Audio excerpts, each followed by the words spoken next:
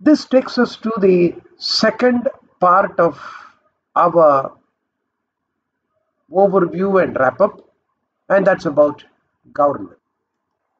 How do the structures and schemes of governance on different sectors of environmental management present themselves and operate? Obviously, they follow the pattern set by the statutory formulations. We have two sets of administration. the Forest, Wildlife and Biodiversity, the Green Brigade, and the Pollution Control, Waste Management and Impact Assessment, the Brown Sahibs. Each with a different kind of a mindset and approach. The former remind us of the colonial brown sahibs with a typical bureaucratic approach of revenue administration in total charge and control of all that they survey. What about the latter? they being fairly recent to the task are indeed greenhorns struggling to perfect the art, craft and skills of a very demanding profession. Let us begin with the environmental administration of the brown kind, the pollution control, waste management, etc. You remember that they had their roots in science and technology ministry and from that they have come a long way under the Ministry of Environment, Forest and Climate Change. With the Environment Protection Act opening the doors wide to impose with a heavy, heavy workload, they really reel under them with their ever expanding tasks, which is not confined to, as was originally visualized, to only Water and Air Act alone. But let us take a relook at it. These were envisioned, designed, and brought into existence for one singular purpose. The idea was to move away from the routine common law and criminal law regime of nuisance law of general import to a more specialized, autonomous, legal regime of pollution control, PCBs,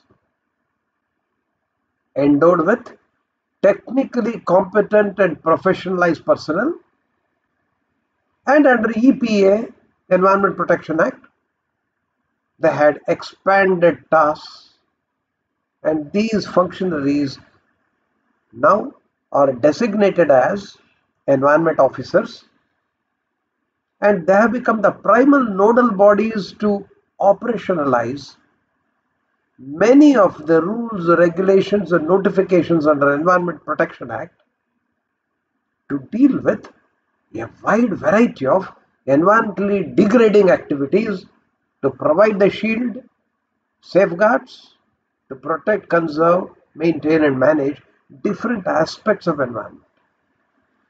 Remember it started with noise pollution, broadening the ambit of our understanding of air pollution to include noise pollution also way back in 1987 as we have seen.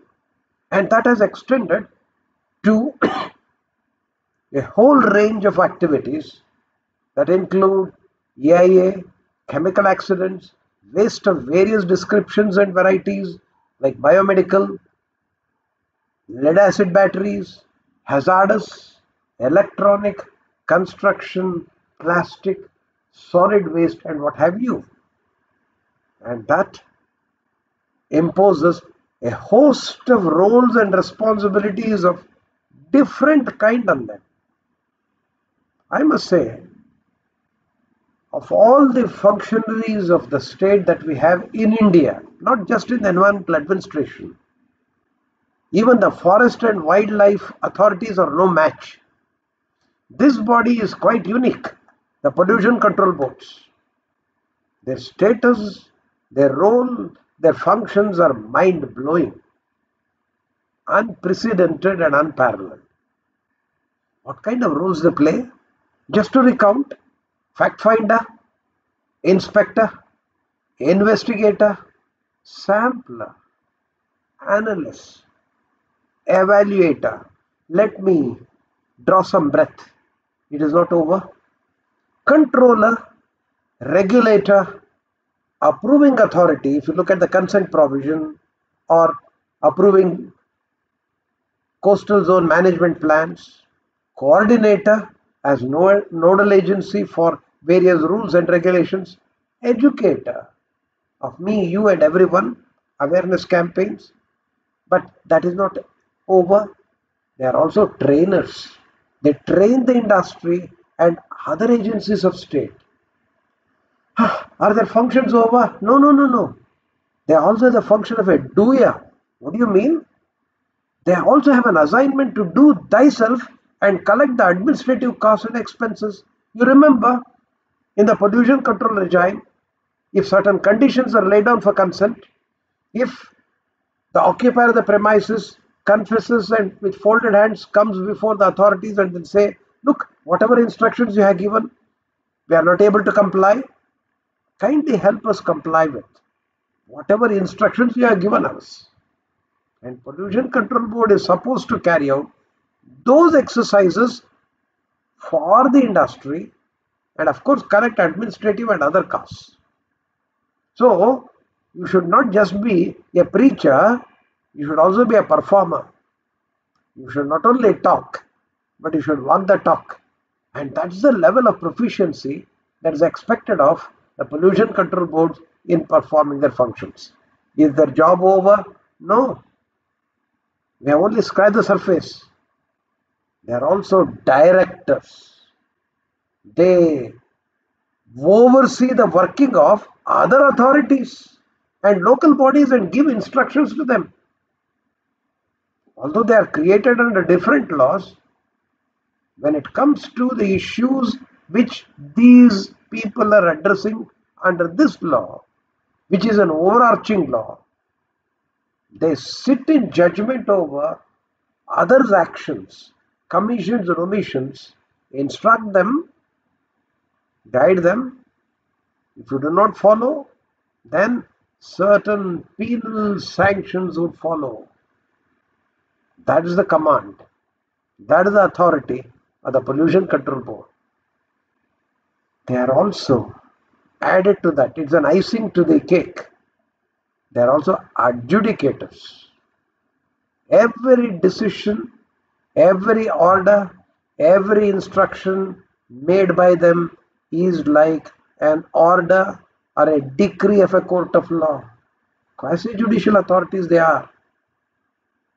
It may not be surprising after having very quickly gone through it if you exclaim, the only role of a creator is left, not being given to them, and it is with Lord Brahma. Actually, not. I think the lawmaker has been a little merciful. After having given these many functions to perform, it has given a few concessions of assigning some of the functions like those under those rules that you have on hazardous microorganisms. Science and Technology Ministry people will take care of that. Or on eco-sensitive zones. Well, it is being assigned to various other authorities, especially the forest and the wildlife people. Thanks for this small mercies, but really it is backbreaking. But having assigned with that, at least you should give it to the lawmaker that they have so much of trust in this authority. But should it not equip them well, both under law in its content and in its working? There are so many problems and dilemma. Look into their composition, starting from the chairman and membership. It is highly politicized and bureaucratized. The boards are not treated with the kind of respect as a professional expert deserves. Look into its relationship The relationship between the Central Pollution Control Board and State Pollution Control Board, very fragile and tenuous. We have seen that. And it can create havoc, emergency situations. And what about the Pollution Control Board's relationship with other agencies of state? Does that exist? Or with courts of law? You must have seen, and we have had umpteen number of examples. Pollution control boards have become the favorite whipping boy of the courts of law. Given this state of affairs, and to add to this insult to injury, you have several bodies to aid, guide, advise, and instruct them. Of them, you have regional offices of the Ministry of Environment, Forest and Climate Change and regional offices of Central Pollution Control Board. As a matter of fact, these bodies, utility and value are still not very clear. Many a time you start wondering, are they duplicating the functions of CPCB? But they're there. Turn inwards to the pollution control boards. What about their preparation and equipment? Are they at least geared up to take on the challenges before them in terms of their education, academic qualifications, experience and expertise as is required in handling the task assigned and meeting the ever expanding demands and expectations. We have already seen that none of these are adequately addressed internally also. If you look at the mindset and set minds of these functionaries themselves within these boards, even that is not in tune with the constitutional directive of a public trustee. Their actions, if you just look at the results of their actions, it's more of a reaction than a proaction, which is one of their mandates. if you just look at their variety of functions, some functions stand out, some functions draw their attention much more than most of the other functions, like the consent provision, the standard setting and enforcement of that. It looks like an approach is more towards rent seeking, controls and regulation of conduct than that of a parent, educator, enabler, and facilitator, which we saw are many of the functions assigned to them, which is very much in line with the constitutional directive of a public trustee. But as a matter of fact, a closer, deeper, clearer examination of these rules, regulations, and notifications, the processes and procedures under these laws, most of these, believe me, are capable of getting addressed in the existing system itself. Only thing is there has to be rigorous capacity building exercises for all the concerned. And of course, a few amendments in the existing law is required to bring in a little bit more clarity in the substance of the law. Primarily to ensure institutional autonomy and to narrow the scope of political interference and also to gain, ensure, and command cooperation of other agencies of state. It is on these some reforms are required. Then the next stage would be overall reform by way of consolidation of all these laws. Why you have a separate law on water and air pollution and why you duplicate many of these aspects in Environment Protection Act I think you need have to wrap them all around into absorption and incorporation in the Environment Protection Act itself. And there should be a further consolidation of those host of rules and regulations and notifications to strengthen the system, especially the substance of the law and streamline the procedure for governance. Something that is sorely missing and very highly inadequately addressed require attention and that is communitarian collaboration in the entire system of governance. Just to give an example, there is something that is in application in United States. There is something called as a Clean Water Act, very much related to our Water Act. There, statutory status and functions are conferred upon some of the local communities who have been very closely associated with the resource and they appear to be part of that resource itself. They are called as water keepers. You know the kind of functions they have? These are not government bodies. These are not state functionaries. These are not public servants. But these are the people who are drawn from the community itself. They have that skill, they have that ability, they have that observation, they have been living there all the while. They're given powers of imposing penal sanctions and enforcing them on those violators of all that has been prescribed in the law of ensuring good quality of water in terms of riverine system, water bodies and things like that. Such things require a far more serious consideration and space in the system of brown aspect of governance. Let's move to the forest and wildlife bureaucracy. My God, it's a altogether a different approach and attitude. This is a fairly well protected, superior cadre of bureaucracy. And what do they do? They handle a wide variety of statutes, but the approach is the same. Not that of an expert professional, but that of a hardcore bureaucrat of the revenue kind. I've already explained that. Please recall that by referring to the forest and wildlife law and their management. The system of governance, as you have noticed, it is state centric and highly centralized. Unfortunately, it follows the undesirable hierarchy of administration, being next in status and importance to revenue administration and police.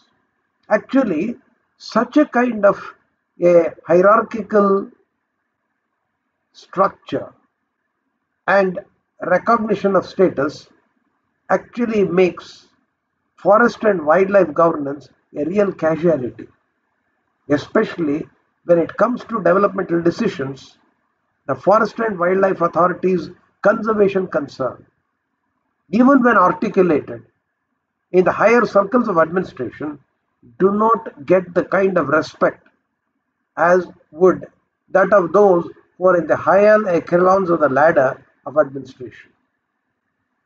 Police administration is supposed to be a strong ally, especially with regard to seizures, searches, and bringing the wrongdoer to book through prosecutions, they hardly cooperate or even follow instructions of the forest administration. When you look at the forest and wildlife law, the striking feature is the museum view of the West. There is a little scope for application of conservation promoting native wisdom and practice. The kind of relationship that exists between the local community, the forest resources, the wildlife, the very symbiotic relationship that exists between them is hardly respected, acknowledged, or accommodated. Protected areas as they exist they are under severe stress. They continue to be prone to encroachments, overgrazing, touristic pressure, poaching, and ever increasing demand from diversion for developmental purposes. Steady shrinkage of corridors are a regular feature. I think the Forest Wildlife Administration have very similar problems of pollution control boards. They do not have well equipped and well trained guards, problem of personnel. Huh. There is no dearth of officers in the forest and wildlife departments because they occupy higher positions. And quite a few of them are even deputed to perform functions which are totally alien to their office. They become registrars of universities or heads of information network systems. And this is something which is despicable, to say the least. If you want to strengthen the administration at the forest level, if you have too many, release it of bulk. And those that are there, completely zero them on to the task on hand. That is the professional approach. That is what is required, sadly missing. The next problem is about the problem of coordination and integration of different agencies tasked to protect, like for example, wildlife. Because in terms of protection of wildlife, there are so many things that are required. So many other agencies of state are required to assist in search seizure and prosecutions for forest and wildlife related offences. There is a problem of effective access to and use of criminal justice delivery system. And you know the consequence. The conviction rates are very low. Although this law is considered to be far more stricter, stringent than the penal laws that we have. But in terms of conviction, very low rate. You know the reason. Of course, these are really the problems of administration. And it is my considered opinion that these, which are in existence, are something that has to be handled on a priority and capable of getting ad addressed by effecting systemic corrections you don't need legal reforms. You correct the system itself to re-anchor them to achieve the goals that are set under this law. Most of the problems, as I've said so far, would be resolved. Reform in access to and securing criminal justice, and to that end, there is definitely a need for bringing police and revenue administration to get trained and also to get guidance and instructions from forest and wildlife authorities is a very immediate and an imperative need. The final one is something that requires repeated emphasis and action in that regard, and that is communitarian engagement. This has been completely overlooked. And you know, the results are not encouraging. We already know. We have success stories. The whole world have taken have taken note. Success stories in which the contribution of local communities are quite overwhelming in saving protecting and conserving forest and wildlife without state assistance and they are plentiful if you just look around they cannot be continued to be ignored anymore by the concerned authorities. Look at the existing provisions. They have enough space for this kind of a thing, like village forests or community reserves under forest and wildlife laws. There is definitely a need, clear administrative will, for giving effect to them. Or to go a little bit more in detail, you have known about the Maldharis, their kind of help in conserving one rare species and variety of a mammal, the Gir lions in Gujarat, or the contribution of Naga tribals in making Nagaland the Amur falcon capital of the world. And look at the yeoman service rendered by the pastoral community of the Thar Desert in conserving the great Indian bustard. These require recognition, their contribution greater illumination, not illumination out to the outside world, it's already known. not illumination for the common man, it's already in common domain. Illumination within and inside the Forest and Wildlife Administration to give recognition that they deserve and internalize them in the working of this law. Certain other problems and difficulties, of course, they're very, very fundamental. And these are like climate change in relation to protection of wildlife or something which is what we are experiencing now in dealing with zoonotic diseases. You don't have to look for an example. We are actually going through that. The COVID. It is actually a zoonotic disease. And you know, as a matter of fact, over 60% of these, 70% of these are supposed to originate in wildlife. You turn the pages over of all the laws and procedures and institutional arrangements that you have on forest and wildlife. They're totally clueless in dealing with any of them. And so there is a need for a relook into these laws, the administration to rejig them, to rework them, to recast them, and put them on professional lines to achieve the goals for which they are created. Biodiversity law that has salutary elements of decentralization and a huge chunk of it would involve communitarian engagement. And communitarian engagement, how?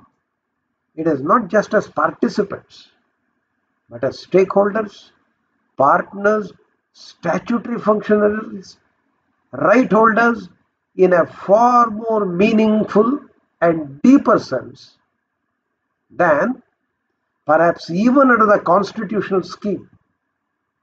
This requires to take its pride of place in the system of green governance. There is also a need to look beyond the tunnel vision of the forest and wildlife law. Integration of forest, wildlife, and biodiversity under one single overarching law and administration is the need of the day, and that should be the primary part of law reforms. There can be serious thought given to crafting a single comprehensive overarching legislative frame is a thought on conservation, protection, maintenance, management, non-degradation, restoration, recovery and reclamation of natural resources. And of course environment with specific divisions under the umbrella law to take care of different aspects to bring them in the much needed coordination, harmony, and working among the different units. The unnatural watertight fragmentation of the green and brown aspects of environment should become a matter of history. This is one model of reform. Not an ideal, but can be given a thought and to the extent possible operationalized. But if you think that it is too idealistic, too broad, too very difficult, here is another alternative. Each aspect of governance may be left to separate legislations and the institutions under them as you have right now. But you need an enabling legislation having a high powered steering body headed by none other than the chief secretary of the state that would overarch, oversee, monitor, and enable all these institutions under each of these laws and to bring in the much needed harmony in the working. Then only administration will become a symphony of a well harmonized, well knit organizational entity rather than the cacophony of chaotic administrative arrangement as we have right now. In the entire environmental statutory formulations, there has been one gap, and that is there should be an insertion of what is called as a sunset clause. What is this? Sunset clause is a provision which actually makes it mandatory for the lawmaker to have a relook at the law that he has made. See, a law has been made and brought into application. And more often than not, the lawmaker, after having made the law, forgets about how it is being implemented, how it is effective, and how to take a performance audit to bring in corrections.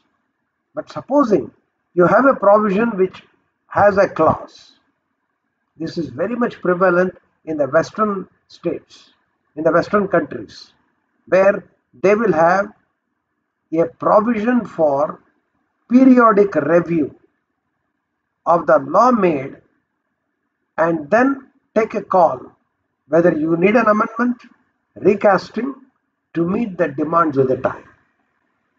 This can only ensure the law can remain in dynamic ferment and not ferment and rot like an unwanted, unused, rotten food of yesterday so as to become useless. So dynamic fermency, which is supposed to be the hallmark of a living law, if at all it were to happen, then you make the lawmaker compelled to have a relook at what he had done earlier as part of his lawmaking process. These perhaps can bring in the much needed reform in the whole system of governance and in the legal order in the days to come. The next aspect that we need have to examine is to look into what has been done about justice dispensation and whether there is anything that needed to be done to reform that or are we happy with whatever we have right now? And that is the third part of our inquiry. Adjudicatory processes, mechanisms, and the results of